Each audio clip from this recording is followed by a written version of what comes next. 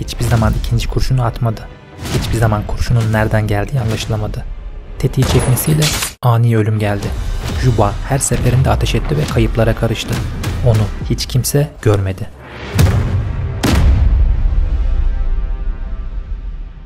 Adını ya da hangi ülkeden olduğunu bilen yok. Ama bir gerçek var ki o da şu. Adı anılınca herkesi bir korku kaplıyor.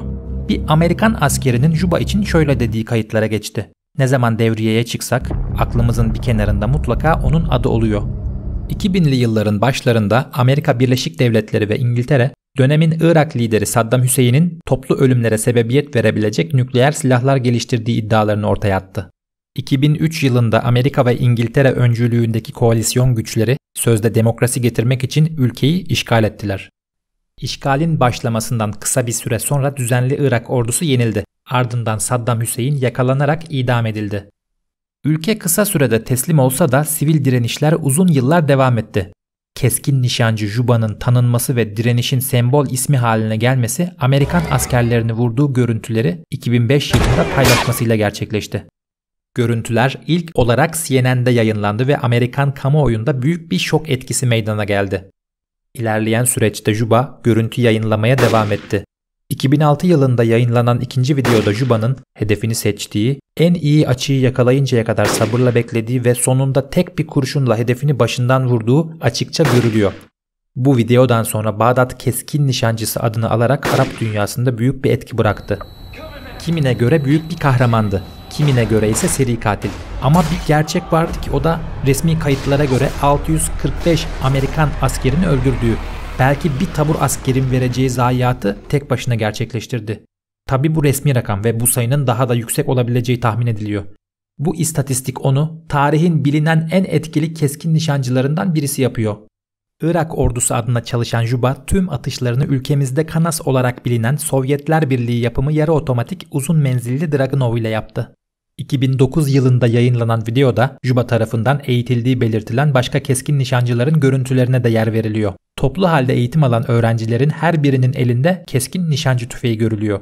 Ayrıca görüntülerde kendini Irak ordusunun keskin nişancı Tugay komutanı olarak tanıtan bir kişi şöyle bir açıklama yapıyor. Amerikan yönetimi halkına yalan söylemeye devam ediyor ve Irak'ta öldürülen çocukların gerçek sayısını açıklamıyor. Biz bu zavallı insanlara doğruları anlatmaya çalışıyoruz. Umarız onlar da uyanırlar. Yine bilinmeyen yer ve zamanlarda Amerikan askerlerinin vurulma anları gösteriliyor. Ölen her bir asker için çentik atan Juba bu sefer bir de duygusal mesaj paylaşıyor. Mesajı şöyle. Cani değilim. İnsanları öldürmekten hoşlanmam. Sadece işgal ettiğiniz ülkemi savunuyorum. Çocuklarımızın hayatından çaldığınız gülümsemeyi ve güveni savunuyorum. Keskin nişancılarınızın vurup öldürdüğü 14 yaşındaki Şeyma'nın ölümünü asla unutmayacağım. Eğer ülkemize ziyaret için gelseydiniz sizi ülkenize güle güle uğurlardık. Fakat ülkemizi işgal ettiğiniz için yaşadıklarımızın aynısını size de yaşatacağız.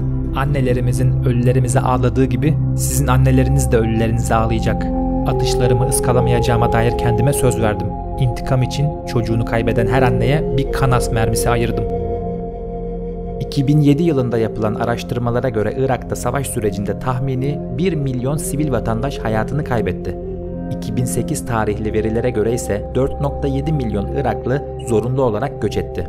Kızıl Haç 2008'de Irak'taki insani durumu dünyadaki en kritik yer olarak tanımladı.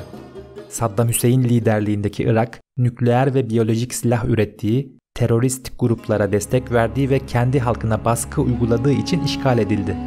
Saddam Hüseyin İsrail'e karşı olumsuz tutumuyla özellikle Arap dünyasında belirli bir saygınlık kazanmış olsa da Batı dünyasında zalim bir diktatör olarak tanımlanıyordu. Irak işgal edildikten sonra yapılan araştırmalarda ülkede ne kimyasal ne de biyolojik silah bulunamadı.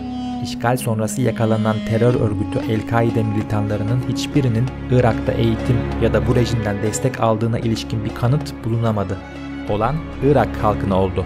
İşgalcilere karşı direnişlerin yanı sıra ülke kendi içinde de farklı gruplara bölündü. Şii ve Sünni gruplar arasında sorunlar çıktı. Ayrıca Irak'ta El-Kaide operasyonları başladı. Bölgeye ne demokrasi ne de huzur geldi. İç çatışmalar günümüzde halen devam etmekte. Ülkede merkezi bir otorite sağlanamadı. Terör örgütü DAEŞ'in merkezi de yine bu bölgede. Akıllara Saddam Hüseyin'in şu sözleri geliyor. Geri gelmemi dileyeceksiniz. Videoyu sevdiyseniz beğenmeyi, kanalımı takip etmek için abone olmayı unutmayın. En yakın zamanda tekrar görüşmek üzere. Hoşçakalın.